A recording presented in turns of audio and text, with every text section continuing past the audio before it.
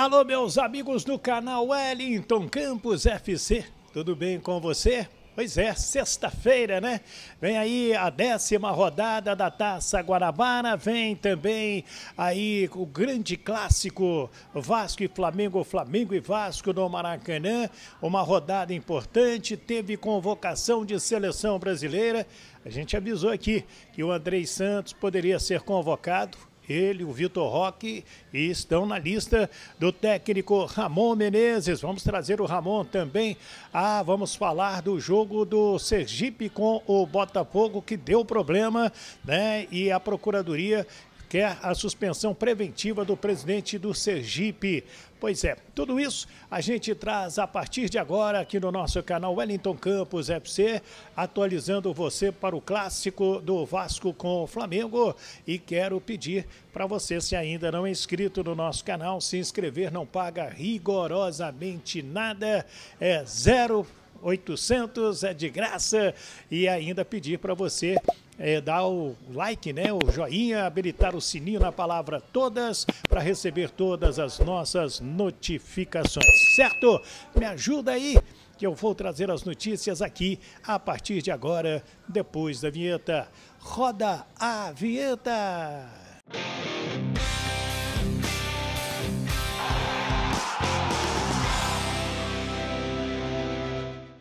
Muito bem, minha gente do Brasil, vamos então falar agora do futebol brasileiro nesta sexta-feira. Vamos trazer aqui da Super Rádio Tupi todas as informações também da rodada, mas antes eu peço para você dar aquela força para a equipe da doutora Camila Paz, né, que é sensacional, faz um trabalho maravilhoso, deixa o seu sorriso muito mais bonito e você pode acompanhá-la, né, fazendo um trabalho de harmonização orofacial e a equipe dela vai te atender de maneira sensacional.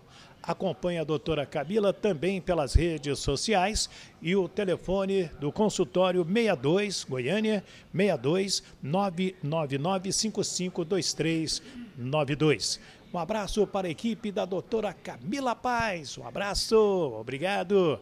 Bem, ah, deixa eu começar com o Vasco da Gama que tem aí mais um jogador contratado, é um jogador inicialmente para a base, mas pode até aparecer na equipe principal, é o atacante né, que vem do Nova Iguaçu, Léo Jacó, de 17 anos. Ele foi contratado junto ao Nova Iguaçu. Tanto o Flamengo quanto o Vasco queria este jogador, e o Paulo Brax me confirmou, ele vem por empréstimo de um ano e meio e com duas opções de compras, né?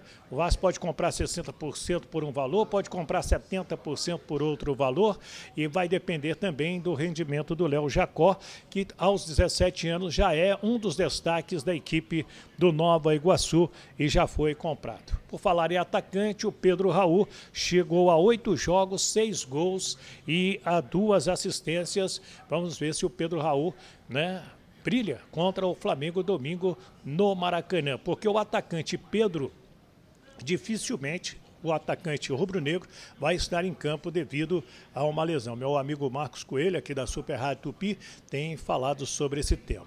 Por falar em Flamengo, hoje é aniversário do Zico, nosso grande Arthur Antunes Coimbra, completando 70 anos. Um beijo carinhoso para toda a família Antunes. Um abraço, meu querido Zico. Próprio Vasco da Gama, nas redes sociais, cumprimentou o Zico pelos seus 70 anos também. Deixa eu falar sobre o Andrei, né? Porque ele foi convocado. Ele vai jogar nesse período no Vasco a camisa 18. Foi a mesma camisa que ele começou.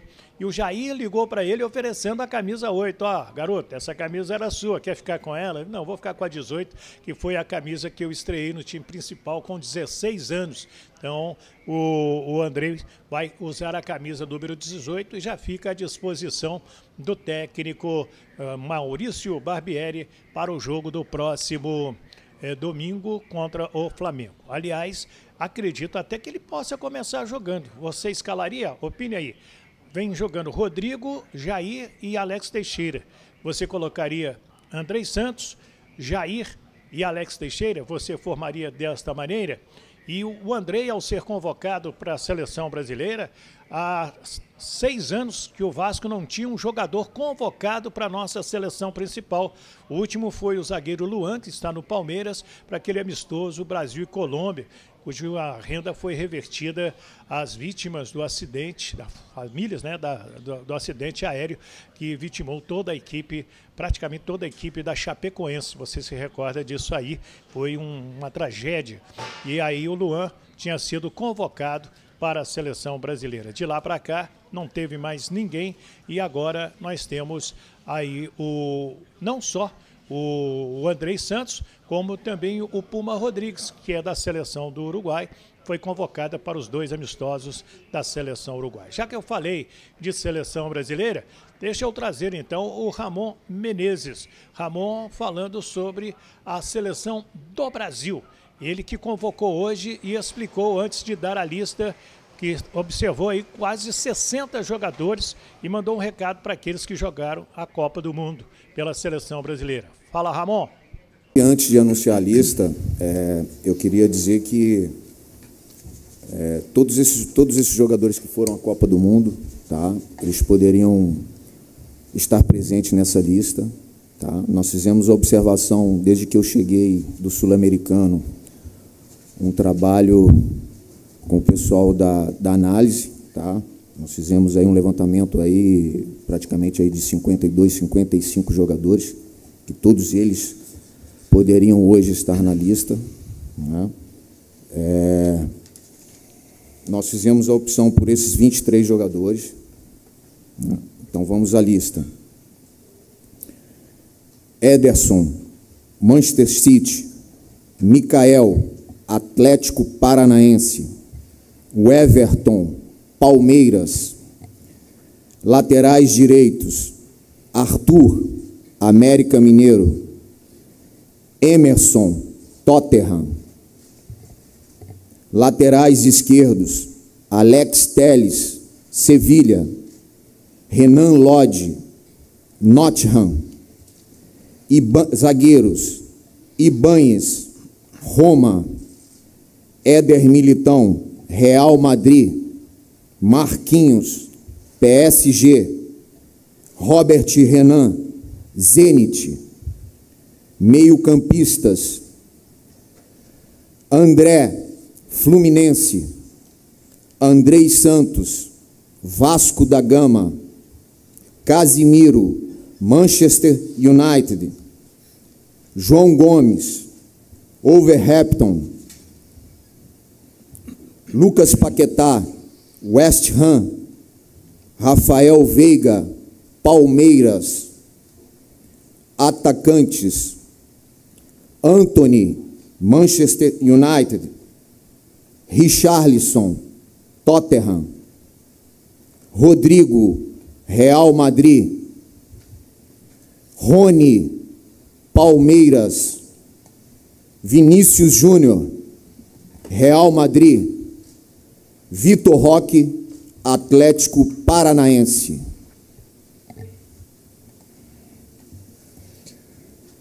Tá bom, né?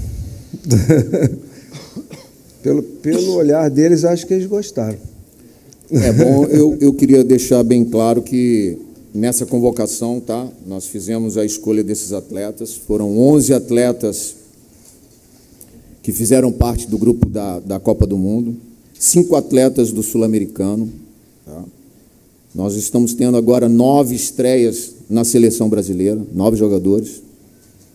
Oito atletas que atuam no Brasil e oito jogadores com idade olímpica. E aí a média de idade, 24 anos. Eu perguntei para o Ramon a respeito do Andrei, perguntei também sobre o Arthur, o lateral direito do América, muito bom de bola, e também o Vitor Roque, atacante do Atlético Paranaense. E o Ramon falou a respeito desses atletas que ele chamou né, da seleção sub-20 e que vão para o Mundial, estão tendo esta oportunidade na seleção principal. Fala, Ramon.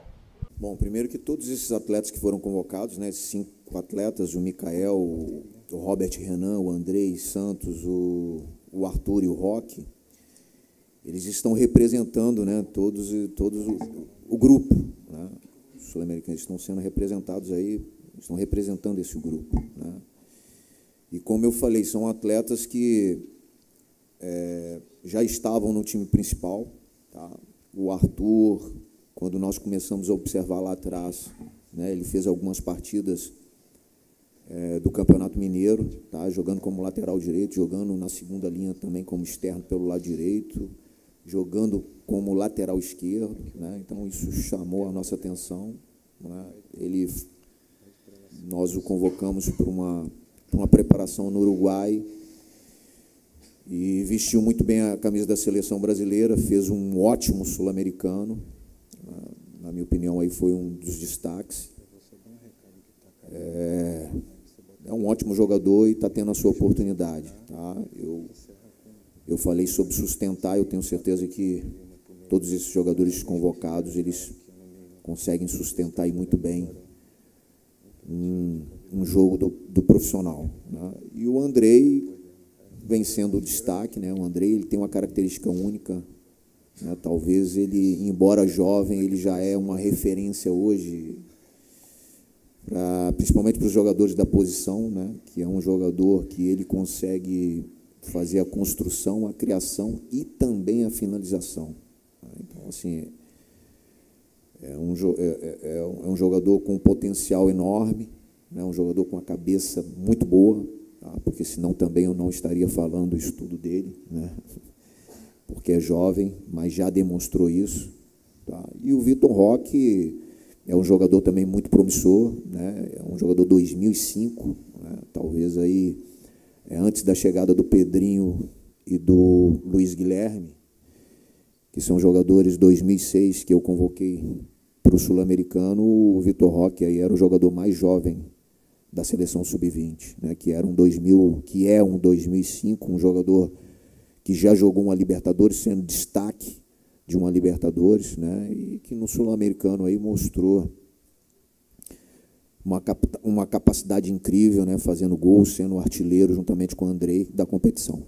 Pois é, aí então Ramon falando da oportunidade para o Andrei, falando da oportunidade para o Vitor Roque e também para o Arthur, lateral direito, jogador do América. Essa meninada da Sub-20 tem uma galerinha muito boa de bola e olha que o Alexander do Fluminense ficou fora, né?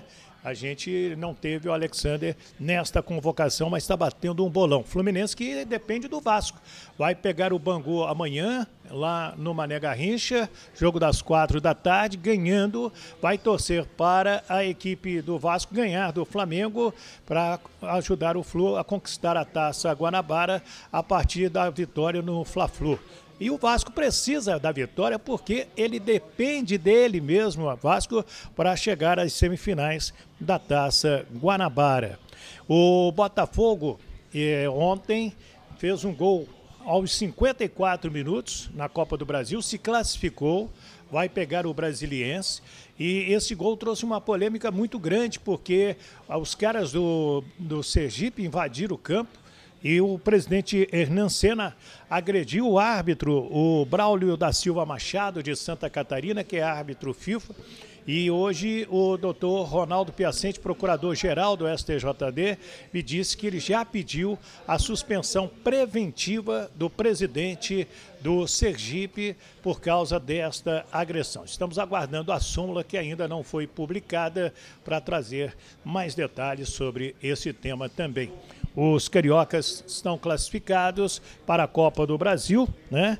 Só o Rezende não se classificou. O Vasco pega o ABC em São Januário. O Botafogo pega o Brasiliense aqui no Rio. O Atlético Goianiense recebe o Volta Redonda. E o Nova Iguaçu vai jogar em casa com o Mutum do Mato Grosso, que tirou o Londrina. Tá falado? Tá gostando do nosso trabalho? Dá um like aí para ajudar fortalecer junto ao YouTube. Peço também para você se inscrever no nosso canal Wellington Campos FC não paga rigorosamente nada. Peço também para você habilitar o sininho, dar o joinha e ajudar a gente a divulgar o nosso trabalho. Espalhe para os grupos do WhatsApp que você participa, do trabalho, da família, dos amigos da rua, da pelada. Me ajuda aí, espalha, pede para seguir o Wellington Campos, o repórter da Rádio Tupi, da Rádio Tatiaia também, tá bom? Muito obrigado pelo seu carinho.